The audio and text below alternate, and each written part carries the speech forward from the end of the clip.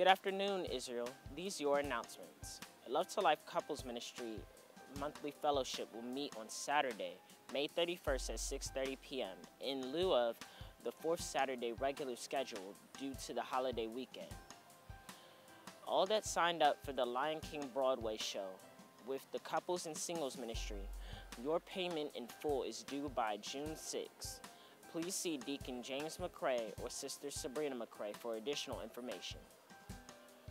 The ITLM Maintaining Our Vessels Every Day Move Ministry will be participating in the 2014 Fellowship Christian Co-ed Kickball League.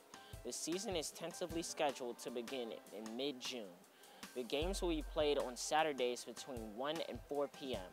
The first practice will be held on Saturday, the 31st of May at 1 p.m. at Watkins Park in Upper Marlboro.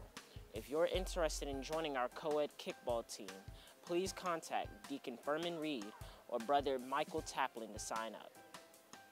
We are asking all ladies who are members of ITLM to provide your contact information to ensure receipt of Sisters of Purpose emails. These emails include a weekly devotional, birth dates, anniversaries, and other short notice communication.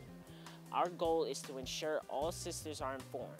Please include phone numbers, email, and mailing addresses, as well as marriage anniversary and birthdays. Send to itlmsop at gmail.com or see Minister Rosalind McQueen. Planning a wedding, anniversary, birthday celebration, or reunion and would like to have it here at ITLM? Please contact event coordinator Sister Linda Clay for more information. Thought of the week.